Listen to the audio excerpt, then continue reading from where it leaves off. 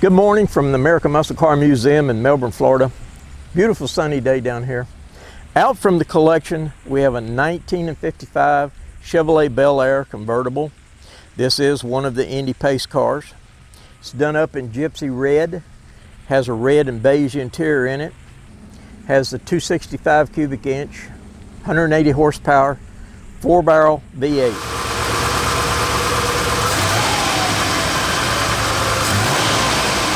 First year for Chevrolet to bring out this small block Chevrolet, which led to the 283s, the 327s, the 350s, and, and right on up the, the ladder as, as they progressed in technology. This is the first guy. The interior of these cars were really well appointed. Uh, they used a lot of chrome and, and polished aluminum accents. Uh, the, the insert pieces of aluminum had the little Chevrolet emblem embossed in them. They go all the way across the dash.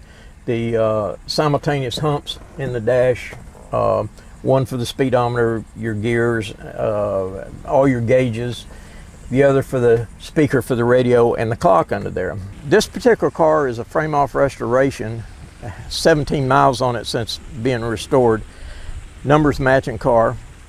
It is a Powerglide. However, you could order a three on the column manual transmission or an optional overdrive transmission.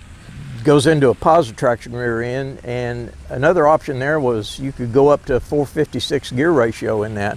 This 1955 Chevrolet set off the what they called the uh, the shoebox years for the Tri Fives, the 1955, 56, and 57 cars. And uh, little did Chevrolet know when they brought this out that it would be an iconic car. As far as we know, we believe this is one of 10 Indy Pace cars for, for Chevrolet that year.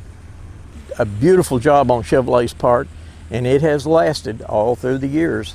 Even today, uh, 55, 6, and 7 bring lots and lots of money. We're back in the museum with the 1955 Chevrolet Pace car in its rightful place on the center turntable amongst over 50 Indy Pace cars.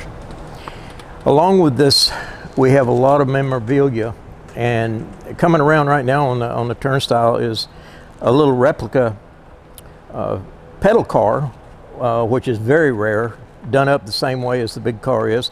And by it is one of the little Mattel cars. Um, very rare little car.